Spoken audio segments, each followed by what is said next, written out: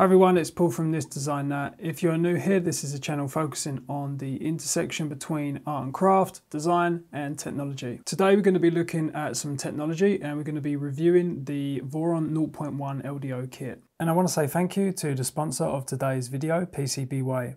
They offer 3D printing, PCB manufacturing and other services helpful for any maker or startup. From CNC machining to injection molding, they can handle pretty much anything you need. On top of that, they offer low volume orders and fast turnaround times for all services, which is great for those one-off prototypes. Check out PCBWay.com today. I've been interested in the Voron 3D printers for a few years now, but I've always been turned off because you'd have to source a huge amount of materials all by yourself, or you could get a cheap kit from AliExpress or eBay and those types of places but the quality of those kits wasn't always the best. The LDO kit seemed like the perfect choice for me because it contained genuine high quality parts and also it comes with a pre-made wiring kit and some other mods which make the process of building it just a little bit more easier. Now with these Voron 3D printers, they do use 3D printed parts as you can see.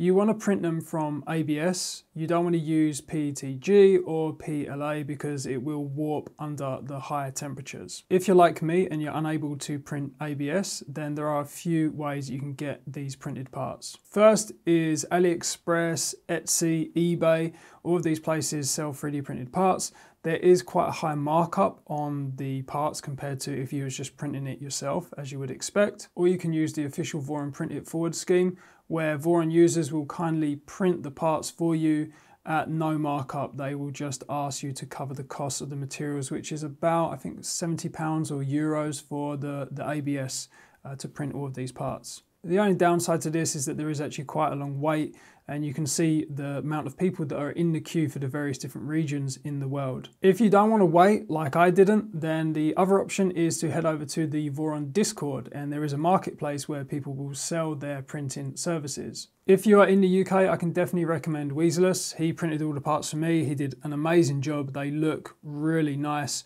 And I just want to say thank you to Weaslus for doing this for me because it takes a huge amount of time to print all of these parts. And a lot of people in this community, they only charge the cost of the materials and just a tiny little shipping fee.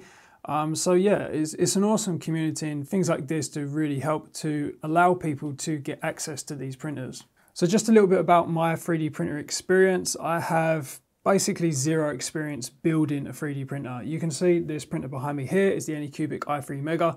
This was the only 3D printer I've built, and soon as you just have to bolt two pieces together, I wouldn't exactly call it a 3D printer that I built myself.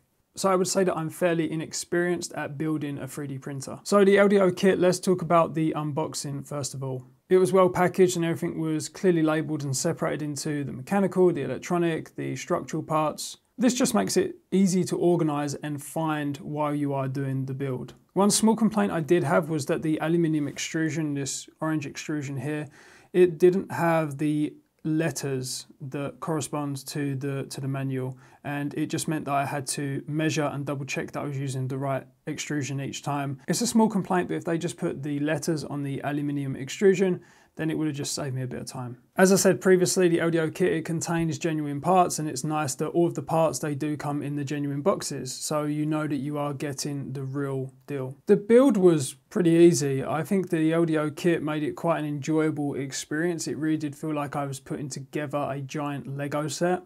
While I was researching the Voron, I was looking at other people building these printers and I think some of the mods that these have, such as the pre-made wiring kit, and also the drilled and tapped linear rail mounting bars they really do save some of the tedious work that goes into building this printer. I don't think most people will struggle with building this LDO kit. Most important thing to do is just to double check that you've preloaded the right amount of nuts into all of these extrusions before you go ahead and bolt the frame together. You cannot skip a single step. The official documentation of the build, it could be a little bit better in some places. I was a little bit confused by looking at some of the drawings. But with the manual combined with some of the build series that are on YouTube, most notably Greg's Maker Corner and also Nero 3D builds, you get a pretty good idea of how to put this together and I'm pretty sure with those things combined they'll answer most of your questions. I'm useless at anything electrical so having the pre-made wiring kit was a huge time saver for me and I think it's worth the cost of this kit alone because I cannot imagine how much time it would have taken me to get all of this wiring cut to the right length to get everything crimped and terminated properly and it just saves me a big headache so yeah, if, if you're not really too sure about doing wiring, if you don't have much experience with it, then that's just another reason to recommend the LDO kit. And another point about the wiring kit is from a safety perspective, I just feel more comfortable knowing that I'm using wiring that has been what I would guess is more professionally done than what I can do. And when I'm leaving this printer in another room and it's printing for hours, or sometimes I might even leave the house and leave it printing, it just gives me a little bit of peace of mind knowing that most of the wiring in this has been done by a professional. So the build itself took me, I would say approximately four to five days. I split it up into three to four hours each day just to space it out and not make it so much of a slog. I think you could do it within one weekend, but I would rather have enjoyed the process and just spread it out a little bit longer. I would say the most difficult part of the build for me was to get the initial frame put together and to make sure that you've got all of the nuts preloaded exactly as described in the manual. I didn't really understand the importance of preloading these nuts when I first jumped into building this and I missed two nuts and I had to take apart the frame and preload them in again because once you once you bolt this aluminium extrusion together, there is really no way to get these nuts in. One way around this would be to drill a bigger hole into the aluminium extrusion so then you could actually just drop the nut in and then slide it into the extrusion. So I think that would be quite a nice little mod if each one of these aluminium extrusions just had a little hole drilled kind of close to the edge so if you do miss any you can drop it in. But you know, I appreciate that's a lot of work to do. Really, you should just follow the instructions properly and you won't have any issues. But yeah, I cannot emphasize enough the importance of, you know, double checking you've got all of the nuts preloaded into the rails before you start putting everything together. So once I had all of the frame put together, it was time to start doing the wiring. And as I keep saying here, thanks to the wiring kit that you get, this is very, very easy. It is really just plug things in and then just tighten them up. All the wires are labeled, which makes it very, very easy to understand what you need to put into what. And it's just a case of following the manual. LDO also have their own wiring manual on their site, which I found a little bit more descriptive and easier to follow. But again, you just follow the instructions. I doubt anyone will have any issues. So I'd got it all built in about four days and now it was time to move on to setting up the printer, which is installing the Raspberry Pi and installing what I was using was Mainsail. So I had to get that all set up as well. Now this Raspberry Pi setup and the controller setup took me about four to five hours. I'm not very experienced in this. I usually rely on my partner Lakshmi, who is much better at coding and understanding these things. But again, it's just a case of following the manual step by step there are various different videos on YouTube as well that you can check out on you know how to get your Raspberry Pi set up, how to get Mainsail installed. Uh, it's great being able to have certain controls on your mobile phone. I like being able to in real time adjust the Z offset and also to adjust the flow of the extrusion just to make sure that you're getting a nice initial layer on the bed and you can literally look at the printer while it's printing, you can have your phone in your hand and you can control it through that, which was really cool. So following the manual, you get to the stage where you start to calibrate the thing and I calibrated the Z offset and then I also manually leveled the bed.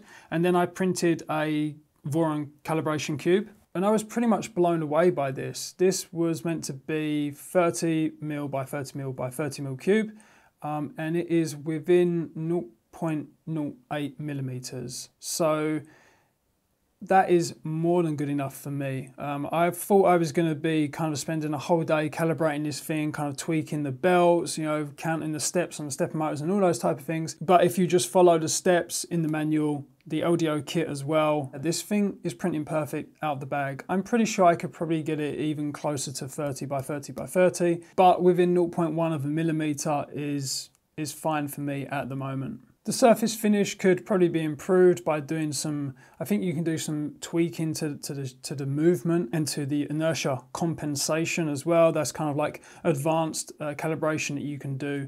Um, but maybe I'll get round to that at, at some stage. But yeah, for me, you know, I'm using this really for just kind of functional parts. I'm not really too bold about how it looks yeah, perfect. Can't really complain.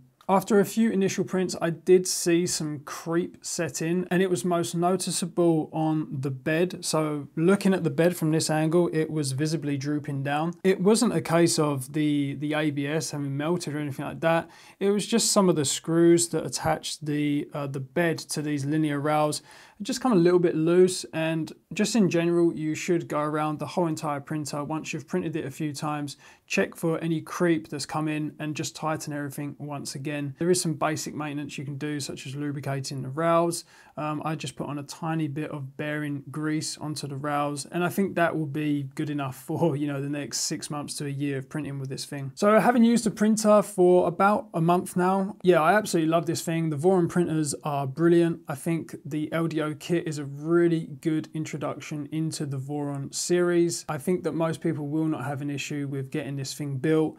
It looks awesome. Um, I love the color combinations and it's certainly a step up from my i3 Mega. Uh, I still use this thing, obviously to print bigger things. I'll, I'll, switch over to the, to the i3 Mega. It's still going strong, but I just wanted something that was small, compact, quiet because the i3 Mega is a little bit loud uh, and I wanted something faster. I print a lot of prototypes and I print small things that are used in, in bigger projects. And yeah, the Voron 0.1, it kind of ticked all of the boxes for that. I've got this set at 140 millimeters per second print speed and it handles it very comfortably. I've seen people pushing this thing to 250, 300. I think I even saw a thousand uh, millimeters per second print speed, which is insane. So these printers, they can handle high speeds, which is good because it, it does cut down on the print time. So I'm very happy with the printer. I'm very happy with the kit. I highly recommend it. But what would I do differently if I was building this again? Firstly, I would definitely get one of those battery powered screwdrivers. I screwed all of these nuts and bolts together uh, using just an Allen wrench that come with the kit and yeah, I could have just saved myself a lot of sore fingers by getting one of those. I also would have 3D printed some nut carriers that will just keep the nuts in position that you want in the rail because a lot of the time when you are trying to feed a bolt through a plastic part, for instance, and you're trying to get the, the nut lined up. These nuts are really temperamental to get into their position, um, and I find myself having to kind of like shake the printer to try and move the nut just so it gets into the position where I can push it into the bolt. Also, I would have just used a little bit of Blu Tack just to stop the nuts from actually falling out when you are moving this frame around and getting that initial frame set up because that happened a few times. And lastly, with the LDO kit, make sure that you peel off the acrylic protective covers before you slide it into the aluminium extrusion. Um, I thought that the protective covers were going to be your typical plastic kind and you can kind of pull it all off in one go. The covers on these panels were actually paper and it just means that I can't actually peel off the protective cover that is sitting underneath the aluminium extrusion. So I've basically just got a, a, section where I just can't get off the protective cover. I mean, luckily you can't really see it, it's really small, but I'll show you some images here where I, I just can't get it off. I thought I was being clever by not taking off the protective covers until I've got it all built because I didn't want to scratch the acrylic, but yeah, just make sure that um, your protective covers are the paper or plastic kind. If they are paper, make sure you peel it all off before you slide it in. So that's it. That's my Voron 0.1 LDO kit review. Highly recommended. I will put links in the descriptions to the LDO kit and I also put links to the Discord where you can find really helpful people like Weaslus who might be able to print the parts for you. If you've got any questions about this printer or the build, uh, and also if you've got one yourself and you've done any further mods to it, I'd really like to know because I'm thinking about ways that I could maybe improve this even more. But that is it for today. Thank you for listening. I'll catch you all later.